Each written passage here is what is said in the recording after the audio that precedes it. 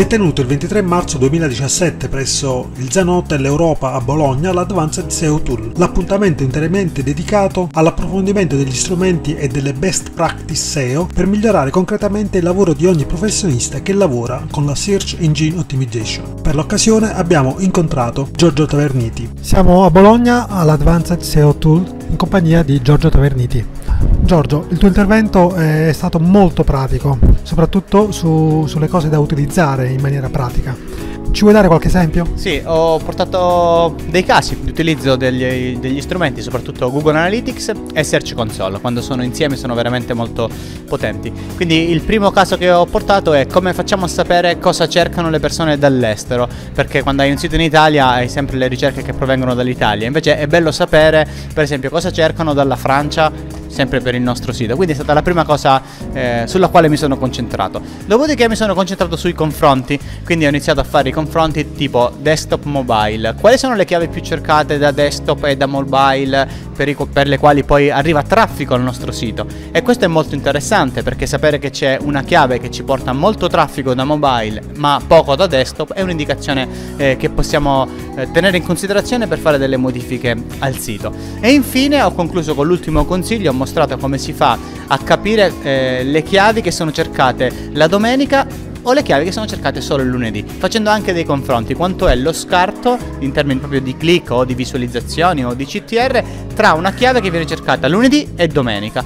In questo modo possiamo anche avere delle idee per il piano editoriale, perché sappiamo che magari determinate chiavi vengono cercate solo il lunedì perché le persone rientrano in ufficio, oppure solo la domenica per altri motivi, ed è una bella indicazione.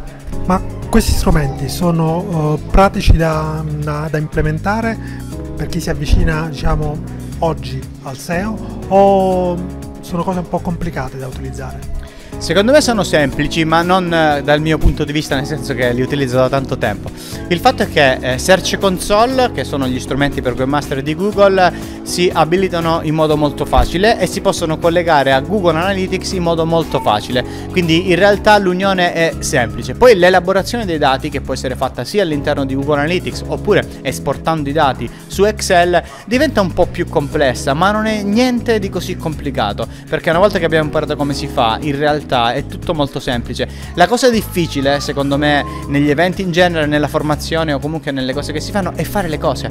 Perché eh, quando le vediamo dall'esterno, guardiamo qualcuno che fa qualcosa e dice ma questa cosa è troppo complessa, io non la potrò mai fare. In realtà la cosa più importante in assoluto da fare appena si torna a casa o i giorni successivi è metterla subito in pratica, farlo subito, immediatamente. Perché facendolo subito, immediatamente, facciamo esperienza e noi riusciamo a comprendere solo quello eh, Ehm, noi, dove noi facciamo esperienza, il resto non lo comprendiamo perché una cosa è guardare qualcuno che ti dice come si fanno co- le cose e un'altra è mettersi a farlo.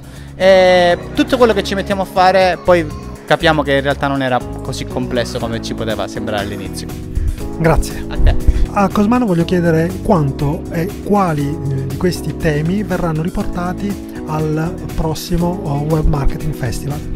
Sì, sicuramente la giornata di oggi era focalizzata sugli strumenti avanzati per la SEO e la SEO sarà una delle varie leve del web marketing che tratteremo al Web Marketing Festival, quindi un tema assolutamente molto interessante e centrale all'interno della manifestazione, ma oltre a questi temi avremo anche presenti i relatori di quest'oggi, quindi Filippo Trocca ci sarà anche al Web Marketing Festival, Enrico Altavilla, ma naturalmente anche eh, Andrea Pernici, Marco Quadrella, Giorgio Taverniti, quindi saranno degli elementi centrali questi temi e anche i relatori per la due giorni che ci aspetta a Rimini dove oltre alla SEO tratteremo molti altri temi. Lo scorso anno ci sono state 26 sale, 13 il primo giorno, 13 il secondo giorno sulle principali leve del web marketing, quest'anno probabilmente ce ne saranno altrettanti, con una sala plenaria che tratterà eh, delle tematiche culturali, dei dibattiti su tematiche molto rilevanti, quali ad esempio eh, Industria 4.0, piuttosto che il nesso tra editoria e digitale. Eh, e quindi insomma la SEO insieme a tutte le altre leve del web marketing e a tutto quello che riguarda il mondo del digitale.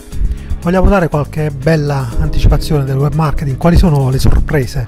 Eh, soprattutto l'evento diciamo più atteso, qual è? Allora, diciamo le sorprese non le possiamo svelare altrimenti non sarebbero più sorprese. Qualche anticipazione sicuramente sul programma avremo eh, alcune novità sulle sale, ci sarà una sala dedicata al programmatic e anche una sala dedicata al branding, quindi come sviluppare e costruire il proprio brand. Eh, questi sono sicuramente due aspetti molto nuovi.